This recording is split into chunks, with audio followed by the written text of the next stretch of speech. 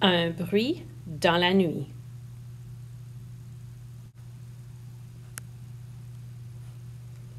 Manuel et Jacques ont dressé une tente dans la cour de Manuel. Ils l'ont placée à côté de la forêt. Ils l'ont placée sous un grand chêne.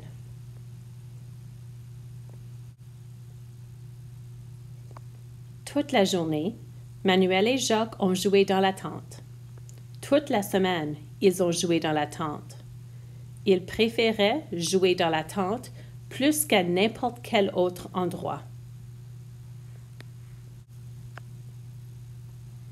Ils ont apporté des sandwichs dans la tente et y ont pris leur dîner. Ils ont apporté des jeux dans la tente et y ont joué. Ils ont apporté leur radio dans la tente et y ont écouté de la musique. Manuel et Jacques ont lu des livres dans la tente. Ils ont apporté leurs jouets préférés dans la tente.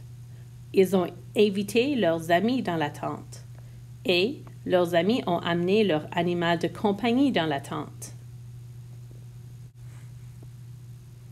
Ils aimaient passer du temps dans la tente plus que toute autre chose. Ils ne quittaient la tente que pour rentrer à la maison pour souper et dormir. Après avoir déjeuné tôt le matin, ils retournaient à la tente. Un jour, ils ont demandé à leurs parents s'ils pouvaient dormir dans la tente. Les parents de Manuel ont dit qu'ils étaient d'accord. Les parents de Jacques ont aussi dit qu'ils étaient d'accord, mais à condition que le père de Jacques dorme dans une tente à côté d'eux. Alors, cette nuit-là, après le souper, Manuel et Jacques se sont rendus à leur tente. Plus tard, le père de Jacques et le chien de la famille, Biche, se sont faufilés dans la tente à côté de celle de Jacques et Manuel. Manuel et Jacques n'ont pas tardé à s'endormir. Et le père de Jacques et Biche aussi n'ont pas tardé à s'endormir. Soudain, il y a eu un grand bruit qui a réveillé Jacques. Il a tendu le bras et il a secoué Manuel. As-tu entendu ça? a-t-il chuchoté bruyamment. Non, je n'ai rien entendu, a dit Manuel. Maintenant, rendors-toi et cesse de me déranger. Manuel et Jacques se sont rendormis. Une fois de plus, il y a eu un grand bruit. Et, une fois de plus, le bruit a réveillé Jacques. Jacques a sursauté et a frénétiquement secoué Manuel. Réveille-toi, a-t-il dit. Je l'ai entendu encore une fois. Il y a quelque chose dehors. Je n'ai rien entendu, a dit Manuel. Tu dois rêver. J'ai une partie de basketball importante demain matin et j'ai besoin de repos. Rendors-toi et ne me réveille plus. Une fois de plus, ils se sont rendormis.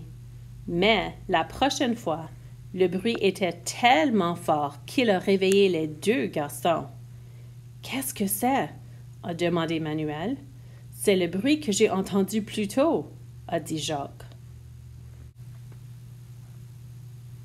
Il y a quelque chose à l'extérieur de notre tente, a dit Jacques. Va chercher la lampe de poche. Ils ont ouvert la tente lentement et ont jeté un coup d'œil à l'extérieur. Ils ont éclairé un peu partout autour. Ils ont éclairé dans la forêt et ils ont éclairé dans les arbres. Mais après avoir regardé tout autour, ils n'ont rien vu qui pourrait produire un tel bruit. Ils ont donc refermé la tente et se sont glissés dans leur sac de couchage. Soudain, dans le silence de la nuit sombre, ils ont de nouveau entendu le bruit. Oh non, a dit Jacques. Le bruit vient de la tente de mon père. Allons-y, Allons voir ce que c'est. Nous devons le sauver. Les deux garçons ont saisi leur bâton de baseball et se sont silencieusement dirigés vers la tente. ils ont prudemment ouvert la tente dans laquelle le père de Jacques était profondément endormi. C'est alors, à l'intérieur de la tente, qu'ils ont trouvé le bruit terriblement fort. Oh là là, ce sont papa et Biche qui ronflent très fort, a dit Jacques.